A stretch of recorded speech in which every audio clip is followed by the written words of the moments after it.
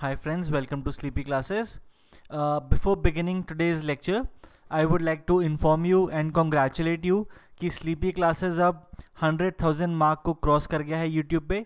It is because of your belief in your faith that we have reached this milestone. आप आपका ही user base है जो हमें हर रोज़ विश्वास दिलाता है कि हम जो कर रहे हैं वो सही कर रहे हैं कुछ अच्छा कर रहे हैं सामने वाले को कुछ उससे गेन करने को मिल रहा है।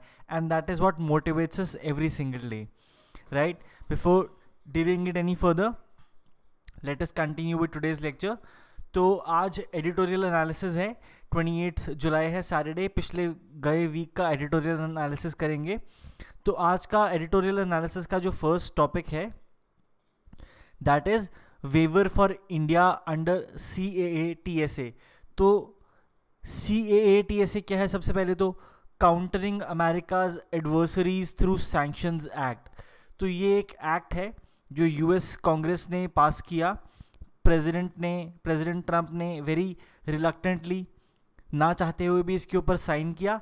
अब जो ट्रंप एडमिनिस्ट्रेशन है इस लॉ के तहत आ, क्या ड्यूटी है कि अगर कोई भी कंट्री किसी भी एक ऐसी एंटिटी के साथ कोई भी डिफेंस या एनर्जी डील साइन करता है with any entity belonging to Russia Iran और नॉर्थ कोरिया तो ऐसी कंट्री के ऊपर अमेरिका सेंक्शन लगाएगा क्योंकि वो ये मानेगा कि वो देश जो इनके साथ डील कर रहा है मेजर डील कर रहा है, वो रशिया के एनिमीज़ को एक तरीके से सपोर्ट कर रहा है या फंड कर रहा है या continues to do business with Russia sorry US S as enemies तो यूएस ये मानता है कि अगर मेरे दुश्मन के साथ कोई बिज़नेस कर रहा है और उसे, उसका फ़ायदा कर रहा है तो वो मेरा नुकसान कर रहा है।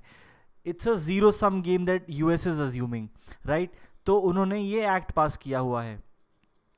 अब यहाँ पे प्रॉब्लम इंडिया के लिए बहुत बड़ी है, क्योंकि इंडिया की एनर्जी डील्स हैं ईरान के साथ और डिफेंस डील्स हैं रशिया के साथ। और to a great extent although U S sanctions के बाद ईरान के साथ हमारी एनर्जी डील काफ़ी कम हो गई हैं but Russia continues to be a major defence partner despite the fact कि यूएस के साथ हमारी पिछले डेकेड में ऑलमोस्ट ऑलमोस्ट पंद्रह बिलियन यूएस डॉलर की डील्स हुई हैं इसके बावजूद भी हमारी रशिया के साथ भी डील्स अभी भी चलती रहती हैं सिग्निफिकेंट लेवल पे राइट right? तो अब ये तो बहुत बड़ी प्रॉब्लम हो जाएगी। इंडिया और यूएस तो मेजर एलाइज समझते हैं एक दूसरे को। इंडो पैसिफिक में एक दूसरे के ऐसे साथ वॉर एक्सरसाइजेस करते हैं। एक जॉइंट सर्वेलेंस की बात करते हैं। जॉइंट सिक्योरिटी मैकेनिज्म की बात करते हैं। मोदी जी ट्रंप के साथ अपनी दोस्ती की बात करते हैं। राइट फेसबुक पे हेडक्वार्टर्स पे जाके हम अपने इवेंट्स होस्ट करते हैं। इसके बावजूद it would not send a very good message to the world अगर यूएस इंडिया पे सैंक्शंस लगा दे राइट right? कि आजकल तो इंडिया के साथ यूएस के रिलेशंस बहुत ही अच्छे हैं तो मैसेज अच्छा नहीं जाता। तो इंडिया ने क्या आर्ग्यू किया अपने ये सैंक्शंस अवॉइड करने के लिए? तो पहला चीज़ तो उन्होंने कहा कि हम जो भी वेपन्स खरीद रहे हैं, वो वेपन यूएस के अगेंस्ट नहीं यूज़ होने वाले राइट तो इंडिया का केस बुरा था क्योंकि इंडिया रशिया से S four hundred missile system खरीद रहा है, जो यूएस कह रहा है कि आप एक सैंक्शनड एंटिटी के साथ बिज़नेस कर रहे हैं, लेकिन इंडिया ने कहा नहीं कि रशिया हमारा पुराना पार्टनर है, कि आपके साथ हमारी डीलिंग अलग है, आपके साथ दोस्ती अलग है, लेकिन आपके साथ दोस्ती का ये मतलब नहीं कि हम रशिया के साथ दोस्ती नहीं रखें या रशिया के साथ भी दुश्मनी कर लें, क्योंकि Russia has been a time tested partner for us right तो इंडिया ने कहा कि आप जैसा मर्ज़ी देख लो सैंक्शन लगाओ, नहीं लगाओ, हम तो मिसाइल सिस्टम खरीदेंगे। तो लेकिन फिर भी हम सैंक्शन नहीं चाहते क्योंकि सैंक्शन से बहुत ज़्यादा इकोनॉमिक लॉस है। तो इंडिया ने कहा, पहली बात तो हम जो वेपन्स खरीद रहे हैं, वो आपके खिलाफ नहीं यूज़ होने वाले। तो आपको टेंशन लेने की ज़रूरत नहीं है। देन सेकेंड चीज़ कि जो आप जो हैं, वो इंडिया को इंडो पैसिफिक में अपना पार्टनर पोर्ट्रे कर रहे हैं पार्टनर समझ रहे हैं। तो आप अगर हमारे ऊपर सैंक्शन लगा देंगे तो जो क्रूशल मिलिट्री टेक्नोलॉजी हमें चाहिए, एक joint monitoring of the Indo Pacific के लिए, वही टेक्नोलॉजी हमें नहीं मिलेगी। अगर आपको हमें एज अ पार्टनर रखना है तो हमारी स्ट्रेंथ आपके लिए भी अच्छी बात होनी चाहिए ना।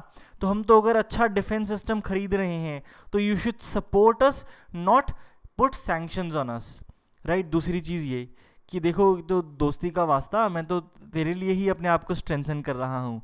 तीसरी चीज़ ये राइट कि ऑल हम रशिया से S four hundred missile system खरीद रहे हैं लेकिन आ, आप अगर पिछले डेकेड का आ, देखें परफॉर्मेंस इंडिया की तो रशियन मिलिट्री हार्डवेयर के ऊपर इंडिया की परफॉर्मेंस का डिपेंडेंस काफ़ी कम हुई है और यूएस से हमारी जो परचेजेस हैं वो बहुत ज़्यादा बढ़ गई हैं। और इस माहौल में आपको हमें रिवॉर्ड करना चाहिए, ना कि हमें पनिश करना चाहिए। हम रशिया से अपनी डिपेंडेंस हटा के यूएस से वेपन्स खरीद रहे हैं। एक टाइम था जब हम सिर्फ़ और सिर्फ़ रशिया से वेपन्स खरीदते थे। Right right? तो ये तीन रीजंस इंडिया ने दिए कि इस वजह से आप हम पे सैंक्शंस नहीं लगाओ। तो जो यूएस के सेक्रेटरी ऑफ़ डिफेंस है, वो भी ये कहते आ रहे हैं कि कुछ कंट्रीज़ हैं, जैसे कि इंडिया इंडोनेशिया वियतनाम तो इन कंट्रीज़ के ऊपर सैंक्शन नहीं लगने चाहिए, क्योंकि इनकी डीलिंग्स हैं, हमारे साथ भी बहुत अच्छे रिलेशन हैं plus Russia Iran North Korea etcetera के साथ भी इनके डिसेंट रिलेशन हैं राइट तो ठीक है यूएस ने, अब यूएस कांग्रेस ने एक लॉ पास कर दिया है, जिसकी वजह से इंडिया के लिए एक एक्सेप्शन बना दी गई है तो इंडिया के ऊपर अब सैंक्शंस नहीं लगेंगे राइट तो इसके लिए दो तीन मेन रीजंस हैं जो यूएस ने भी कंसिडर किए। पहले तो ये कि कैसा लगेगा कि इंडिया जिसको हम अपनी इंडो पैसिफिक स्ट्रेटजी में एक की प्लेयर एक की पार्टनर पोर्ट्रे करते हैं, हम उसी पार्टनर के ऊपर सैंक्शंस लगा रहे हैं राइट तो ये बहुत अच्छी इमेज नहीं पोर्ट्रे करता यूएस की दुनिया में। सेकेंडली वो कहते हैं सैंक्शंस नहीं लगाओ, आप इसको एक स्ट्रैटेजिक अपॉर्चुनिटी समझो कि इंडिया की डिफेंस परचेजेस इतनी ज़्यादा हैं कि वो रशिया से भी खरीद रहा है, वो हमसे भी खरीदेगा। तो consider the possibility to trade in arms with India आप ये मत सोचो कि वो पड़ोस की दुकान के पास क्यों गया। आप ये देखो कि वो आपकी दुकान पे भी आने को तैयार है तो उसको बुलाओ, ना कि सैंक्शन लगाओ। राइट तो इन इन सब चीज़ों में जो कहानी है हमारी, वो चली है सी ए टी एस ए की राइट अब दो एडिटोरियल्स आए इस टॉपिक के ऊपर, एक हिंदू में, एक इंडियन एक्सप्रेस में राइट तो दोनों में अलग अलग कंक्लूजन हैं डिस्कस करते हैं कि कैसे देखी जा सकती हैं। तो हिंदू ने तो कहा कि चलो ठीक है सी ए ए टी एस ए एक बड़ा इरिटेंट बन रहा था फॉर द टाइम बीइंग ये वाला इरिटेंट तो रिजॉल्व हो गया है, लेकिन कुछ अभी और इरिटेंट्स भी बाकी हैं। वो क्या इरिटेंट्स हैं? एक तो इंडिया की जो एनर्जी ट्रेड होती है ईरान के साथ, ये एक बड़ा इरिटेंट है। सेकेंड चीज़ वर्ल्ड ट्रेड ऑर्गेनाइजेशन में इंडिया और यूएस में कॉन्स्टेंटली अब पिछले कुछ सालों से टैरिफ्स और काउंटर टैरिफ्स की गेम चल रही है। वो हमारे किसी सेक्टर के ऊपर टैरिफ लगा देते हैं, हम उनके किसी सेक्टर के ऊपर काउंटर टैरिफ लगा देते हैं। तो टैरिफ और काउंटर टैरिफ की गेम चल रही है। हम उन, उनके ऊपर, किसी मुद्दे के ऊपर केस कर देते हैं। डब्ल्यूटीओ में वो हमारे ऊपर केस कर देते हैं। तो डब्ल्यूटीओ में इंडिया और यूएस आमने सामने खड़े हैं, चाहे बाकी के रिलेशंस जैसे भी हों। प्लस हमारा जो टू प्लस टू डायलॉग है फॉरेन मिनिस्टर और डिफेंस मिनिस्टर वाला, ये दो बारी पोस्टपोन हो चुका है राइट तो ये एक अच्छा संकेत नहीं है। अब ये कंक्लूजन थी हिंदू ने। इस कंक्लूजन जो ये कंक्लूजन ये थोड़े नेगेटिव टोन पे है कि एक प्रॉब्लम हुई प्रॉब्लम आपने फॉर टाइम बिंग रिजॉल्व कर ली है, लेकिन problem number two problem number three ये भी अभी बाकी हैं राइट तो ये एक एस्पेक्ट है, ये एक टाइप की कंक्लूजन है। दूसरी कंक्लूजन जो इंडियन एक्सप्रेस ने दी, वो ये थी कि सी ए सी ए ए टी एस ए में एग्जामेशन मिल गई है इंडिया को। अब इस एग्जामेशन के तहत या इस एग्जामेशन के बाद इंडिया ने यूएस को कहा कि जो सी ओ एम सी ए से अंडर जो अग्रीमेंट है, ये भी अब आप जल्दी से एक्सेप्ट कर लीजिए। पिछले साल हमने, पिछले से पिछले साल हमने लिमोसा साइन किया था। लॉजिस्टिक्स शेयरिंग अग्रीमेंट कहते हैं इसे। इंडिया ने ये साइन किया था, इसके ऊपर काफ़ी कंसर्न्स जताए जा रहे थे कि इंडिया की मिलिट्री ऐसे डिपेंडेंट हो जाएगी यूएस के ऊपर वैसे डिपेंडेंट हो जाएगी। तो ये सबको इग्नोर करते हुए India sign this LEMOA agreement तीन फंडामेंटल अग्रीमेंट्स हैं। अगर कोई भी देश साइन कर ले तो एकदम इन सिंक आ जाती है उसकी मिलिट्री यूएस मिलिट्री के साथ। तो उनमें से एक हम साइन कर चुके हैं, जो यूएस ने भी साइन कर दिया है। दूसरा हमने साइन कर दिया है, हम यूएस को बोल रहे हैं कि आप जल्दी से एक्सेप्ट कर लो। तीसरा भी साइन होना बाकी है। तो इंडियन एक्सप्रेस ने कहा कि कॉम का सा जो अग्रीमेंट है, वो साइन करना और यूएस को बोलना कि आप जल्दी से साइन करो, ये एक मैसेज है, ये जताता है कि इंडिया एक सॉवरन देश है और अपने स्ट्रेटेजिक इंटरेस्ट्स को वो किसी और थर्ड पार्टी को गाइड नहीं करने देगा, ठीक है? यूएस को ये नहीं अलाउ करने देगा कि यूएस हमें बताए कि हमें रशिया के साथ दोस्ती रखनी है या नहीं ईरान के साथ दोस्ती रखनी है या नहीं। तो हमारी जो स्ट्रेटेजिक इंटरेस्ट हैं, वो हम उनके डिसीज़न हम सॉवरन बेसिस पे लेंगे। लेकिन इसके साथ साथ हम यूएस को भी ये इंडिकेट कर रहे हैं कि हम आपके साथ एक स्ट्रोंगर फाउंडेशन के ऊपर रिश्ते कायम करने के लिए बहुत एकदम से तैयार हैं राइट कि उनके साथ जो फाउंडेशनल अग्रीमेंट्स हैं, वो साइन करने के लिए भी हम फुली प्रिपेयर्ड हैं। चाहे कि पॉलिटिकल क्लास के और मिलिट्री क्लास के इसके ऊपर कंसर्न्स भी हैं। Despite that we are willing to sign those agreements right तो ये थोड़ा सा पॉजिटिव टोन है कि चाहे एक एक थो, एक छोटी सी प्रॉब्लम आई थी वो अब रिजॉल्व कर ली गई है। तो जैसा क्वेश्चन की टोन हो या जैसा आप अपने आंसर की टोन रखना चाहें अगर तो क्योंकि आपसे पूछा जाएगा कि क्या आपको ऐसा लगता है? क्या आपको लगता है कि इंडिया यूएस रिलेशंस जो हैं वो ऐसे कॉन्स्टेंटली छोटे छोटे इरिटेंट्स की वजह से रुकते आ रहे हैं या मोमेंटम स्लो होता जा रहा है।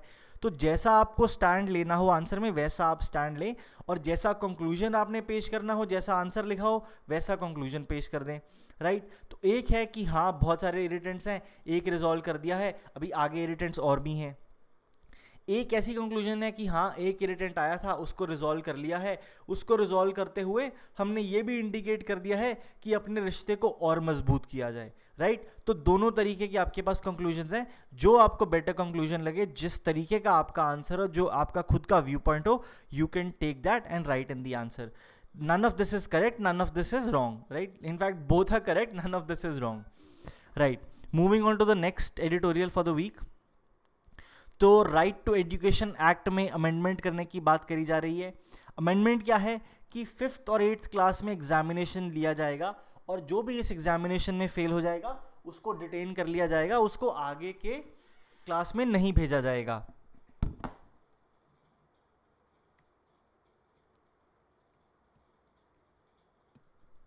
तो प्रपोज चेंज जो है वो क्या कहता है कि सेक्शन थर्ट कि स्टेट बोर्ड्स को हम अलाउ कर दिया, हम अलाउ कर देंगे कि अगर कोई स्टूडेंट फेल हो जाता है तो उसे डिटेन किया जा सकता है on the basis of examination जबकि जो आरटीई एक्ट है, उसका सेक्शन 31 कहता है कि जब तक कि एलिमेंट्री एजुकेशन ख़त्म नहीं हो जाती, किसी भी स्टूडेंट को, किसी भी चाइल्ड को डिटेन नहीं किया जाएगा.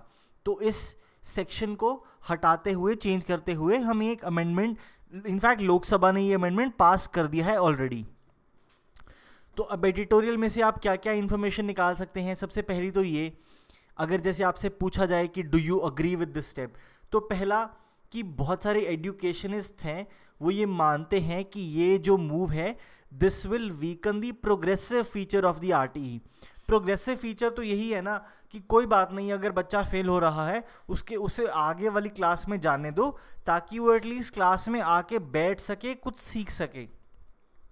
इंडिया में सबसे बड़ी प्रॉब्लम हमारी यही है ना कि बच्चे क्लास में आते ही नहीं हैं। प्रेजेंस ही नहीं है बच्चों की क्लासेस में। तो हमें सबसे पहले उन्हें क्लासेस में लेके आना है एक्सेस देना है।